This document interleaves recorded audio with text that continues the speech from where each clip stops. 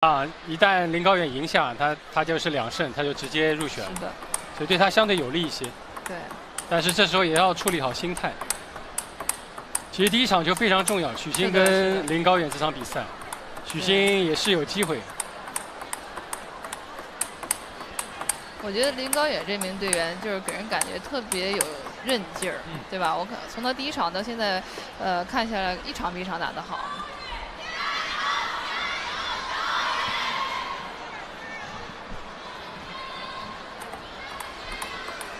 之前刚才小胖过来来说球的时候，因为两个人确实也很熟啊，嗯私下里就说说感觉这林高远打球越来越聪明了，是吧越来越动脑子了。是吧？确实感觉通过这次地表对江十二人的这个大循环的锤炼之后，嗯小，伙自信心也是是有了一个提高。你别看是三局两胜的，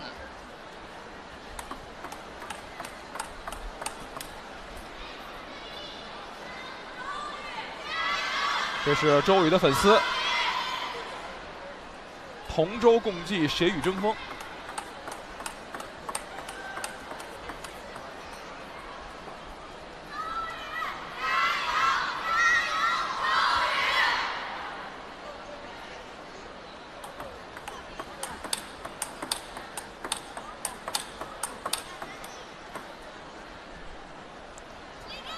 这次血战到底的三位男选手还都是左手，对，都是左手真的是。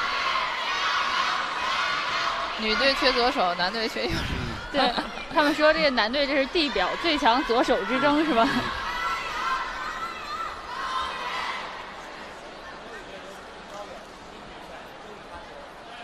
先来看两人的首局较量。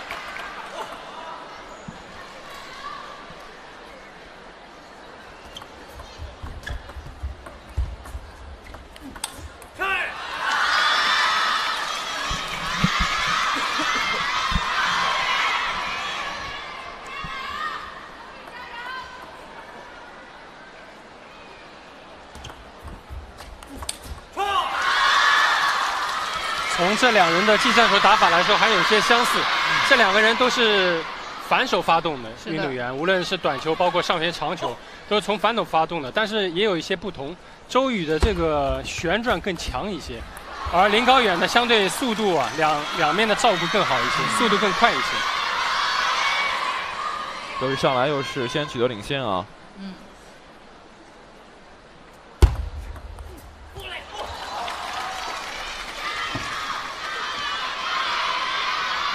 你们那会儿打的时候，反手拧拉还很少的吧？不是。我们那会儿也有也有啊也有啊。我打到一三年全运会结束嘛慢慢，嗯那会儿已哦，经有了，对对对，是的，那会儿已经有了。对。嗯。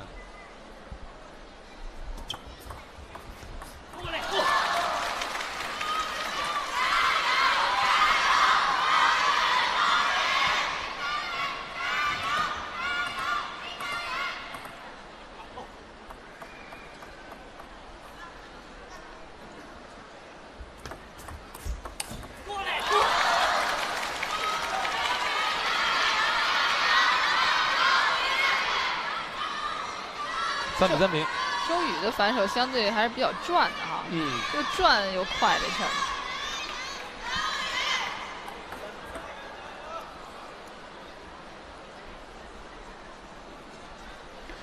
在这第三阶段开始之前，其实周宇这个反手得分的这个数据还是非常突出的，而且他是在比其他两名选手少赛一场的情况下，反手得分的数据是超过许昕和林高远的。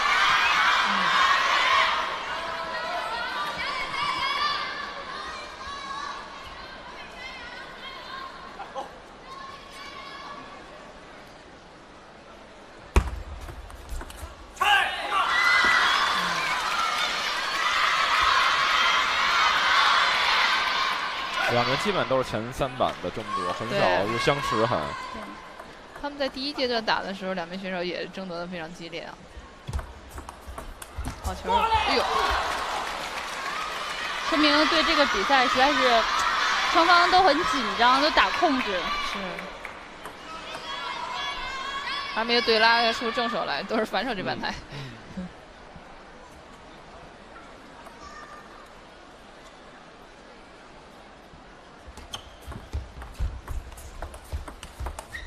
哎呦，这球应该用正手了，是不是？对，这就给到周宇的中间位了，这球还是勉强过来又反手。对，中间偏正手了已经。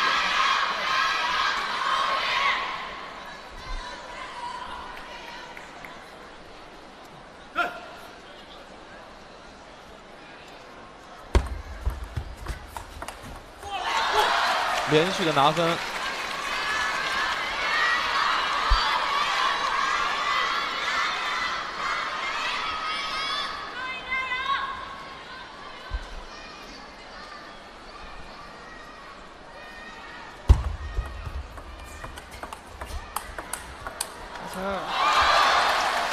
这个球，他要用反手防，可能就丢了。对，对，就得用正手。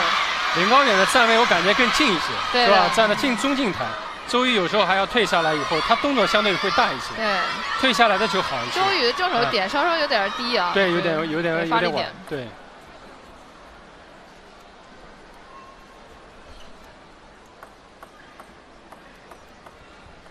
四平之后，已经林高远连得四分了。嗯。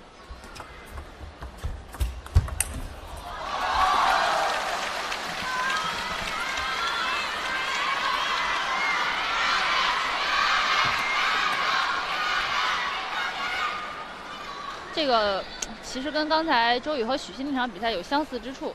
周宇一开始发动的很快，在每一局开始的时候能取得一点领先优势，但是好像没后劲儿啊。对，到中局以后就相对会差一些。那么现在林高远拿到了第一局的局点，开局三比零领先，是打了个一比十，打了一比十。啊哎，跟刚才跟许昕的比赛特别像。哦，发球失误，想赢了，着急。第一是不是第一落点太靠前了？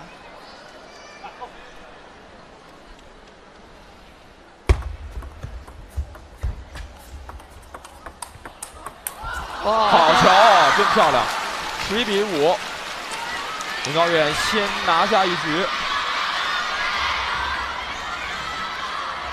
四比四之后失误太多了，感觉呃周宇这边对，从速度上看，林高远还是占据着优势，他人也站得近，动作也比较小。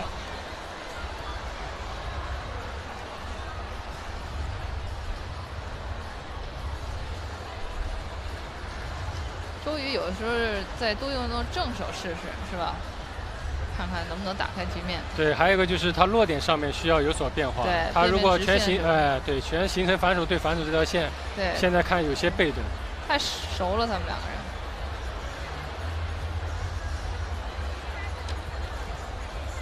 这个时候对林高远来说，只要能够再拿下一局，啊，就能够获得制冲资格了。不知道，特敬业。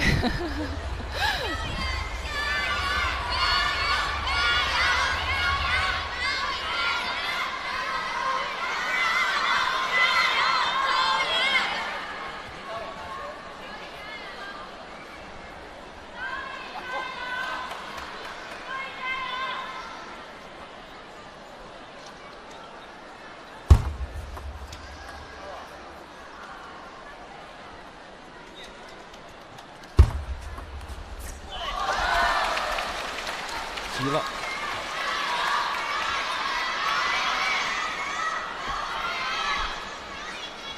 整个林高远的这个心理动态还是比较平稳的啊。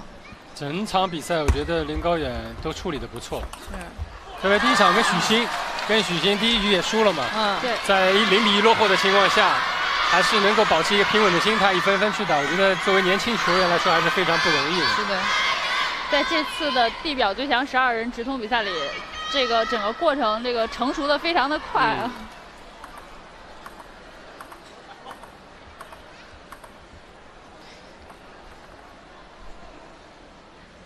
现在就看周宇的调整能力了。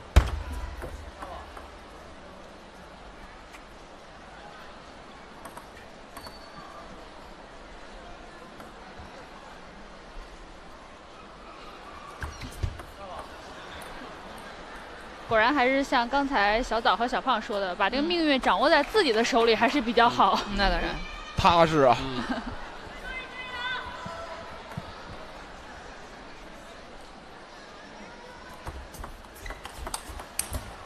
哎，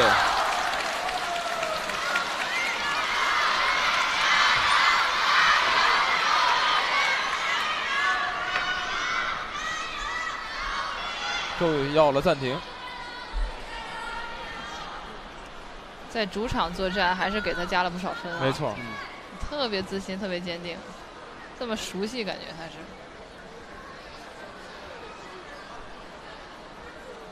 尤其可能现在他已经觉得。就说，哎，好像对手有点慌了啊，嗯连续的会失误啊，自己会可能心里更更稳一点儿。这个第二局比起他自己第一局比赛打得更沉稳一些啊。对，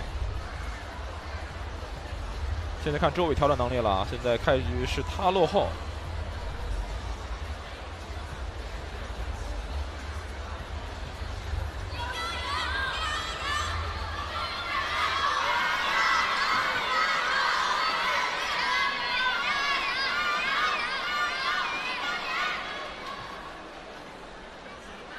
看看暂停之后有没有什么变化。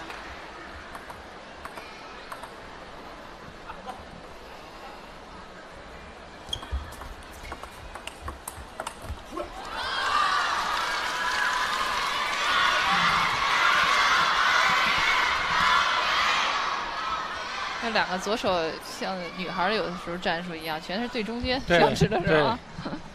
因为现在到一般的球到反手位，大家都有这个发力的这种能力。哦。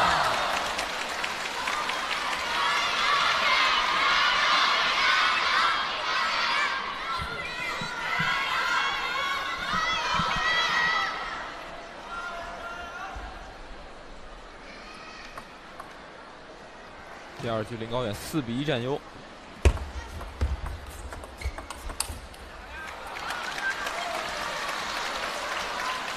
打的就有点没脾气了。对他反手感觉一点都不占优势啊，这个周宇，他可能太想先发力了，有点憋着这个劲儿。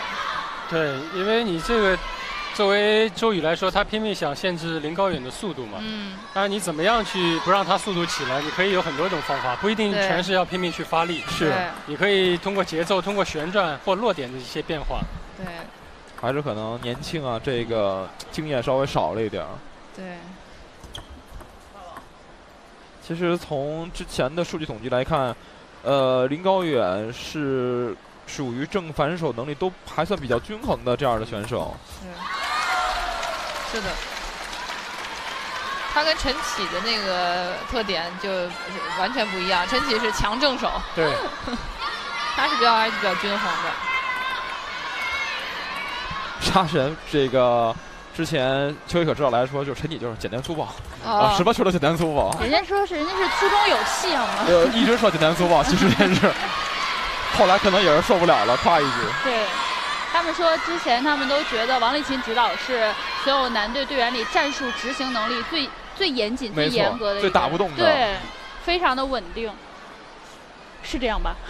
因为像我这种不是说属于变化特别多的这种，还是主要靠实力取胜的，所以基本上制定的几套技战术就非常坚决嘛。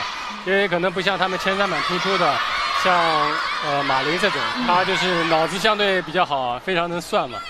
所以我干脆就是以不变应万变。哎，嗯，林高远现在是在第二局七比二领先。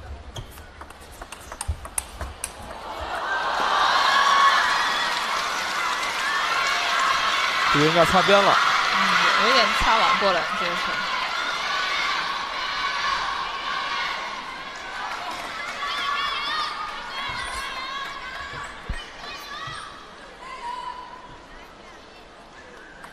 这个时候，其实现场林高远的粉丝都已经特别的开心了，是所以对于他本人来说，这个时候的心态就更要稳住。是，嗯，毕竟还没赢啊。嗯，人家这球应该正手拉，哦，危险，好危险！侧身了都已经。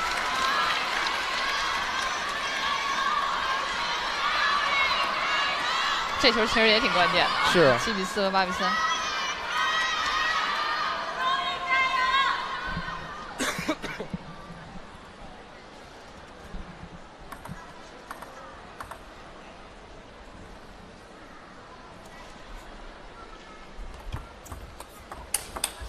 好漂亮，九比三。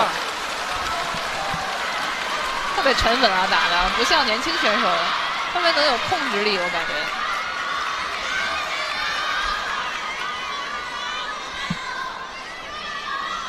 又很坚决，但是又没有特别燥。对，又能够释放自己，然后又能控制得住，这个是其实挺难的。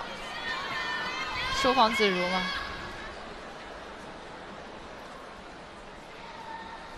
还差两分，对林高远来说，好球啊！还差最后一分直通点。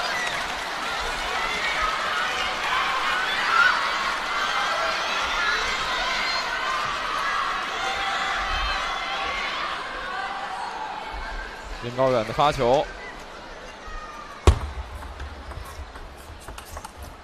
哦，赢了！林高远，林高远战胜了周宇，从而也是杀出了血战到底的重围。是，祝贺林高远。林高远也赢得了直通的机会，真的在这次地表最强十二人的比赛中打得非常非常非常出色。是的。发挥的非常出色。我们也是一会儿等待一下采访林高远啊。嗯，不容易。哎二位评价一下，在这一周多的时间内他的表现吧。对林高远，呃，给我印象非常深，因为从第一场比赛看他打，他呃虽然说是年轻小将，但是在场上的表现，我觉得真是像一名呃久经沙场的老将一样，是又能够控制自己，又能够释放自己。我觉得最让人眼前一亮就是他的这个心态了。呃，心理调节能力，然后他的技术也也很全面，是的，还有很大的发展的空间。现场的 DJ 呢，也是跟现场的观众，包括跟我们屏幕前的观众说一下，一会儿还会有直通仪式，哎，啊，所以呢，也请您千万不要离开。也是跟刘国梁指导机长庆贺一下，确实小伙打得太棒了。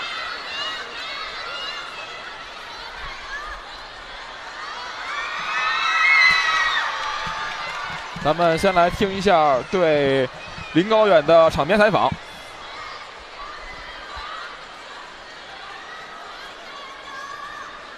恭喜林高远获得这张宝贵的直通门票啊，终于可以去世乒赛打单打的感觉，现在怎么样？还是非常的激动吧。虽然说在场上自己没有喊出来，但是内心还是比较激动的，因为自己在整场比赛都是想怎么去赢，所以说没有去想太多的想法。特别是在这么关键的时候，自己在第一阶段，呃，也是主动权在自己手上的时候失去了机会，在第二阶段自己还是要非常深思这个问题，在领先的情况下，在自己能把握住机会的情况下，如何去去抓住这个胜利吧。反正这个是对我来说是今这次比赛最大的磨练吧。你总说你的比赛老是差一步之遥，差一步之遥，这一次这一步终于迈过去了，感觉怎么样？啊、呃，这迈过对我日后的成长或者呃洗礼吧，属于这次直直通呢，也对我很大的帮助吧。但这个还是开始吧，我还是要在后面比赛发挥的更好吧。其实大家可能不知道，比赛前高远挺紧张的。我看高远在这个热身区的时候一直自己坐着，然后自己想了很多。然后包括我看这场比赛之前，你跟龙队站在外面，然后我不知道龙队当时跟你说了什么。龙队，我这个最关键也是龙队跟我说了，也挺关键，因为我跟他住一个房间嘛，他这个他大满贯对于那个比赛的节奏和把握都是非常好。他打之前告诉我节奏要慢一点，每要每分球每分球打，不要去着急。所以说我无论在领先还是落后，自己人都是放得非常慢，就想想好每一分再打吧，没有说去呃出现这种连输或者连赢这种情况很少，就是慢慢一分分打，慢慢打。所以龙哥对我的帮助还是非常大的。恭喜高远！好的，那我们。